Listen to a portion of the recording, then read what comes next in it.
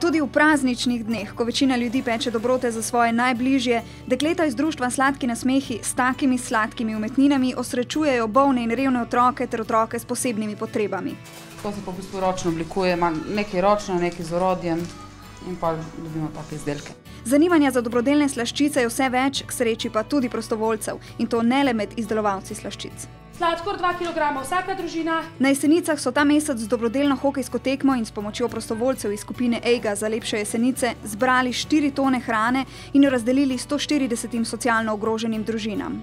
Upam samo, da bo mojim otrokom boljše. Ljudem v stiski se je letos odločilo pomagati tudi nekaj posameznikov. Enes Musič v svoji gostilni v Ljubljani ponuja brezplačen topel obrok tistim, ki si ga ne morejo privoščiti.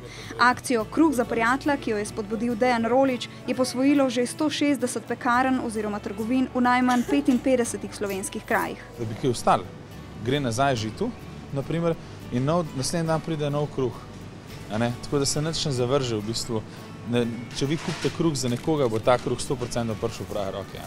Tudi v našem uredništvu smo letos pomagali. Tomaš in Jerca sta delavcem škofiloškega gradbinca Tehnik, ki še vedno v rokah drži vsodo 170 ljudi, odpeljala hrano in nekaj drugih osnovnih življenjskih potrebščin. V menu malenkost izročamo tudi v denarni obliki. Živa in Marko sta Terezi iz okolice Voličine pripeljala drva, s katerimi si njena družina v teh mrzlih dneh greje dom. Kaj pa jokate? Ste srečni? No, super, me veseli. Več kot 200 otrok pa so letos z unikatno torto, tako kot so si jo zaželeli sami, osrečile prostovoljke iz društva Sladki nasmehi. Tudi Aljaža, ki mu je cerebralna paraliza zmanjšala možnosti za normalen razvoj, ni pa mu vzela otroške radosti in sladkosnednosti. Mislim, da je pa Aljaš pokazal sam, da je videl torto, kako se on lepo nasmeji.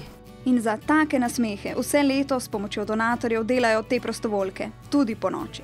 In ko ti prineseš to torto tja in ko vidiš to radost, kar naenkrat ti rata jasno, da je to tako lepo delati in da je vredno vsake ure, vsake napore in vsake neprespane um, noči.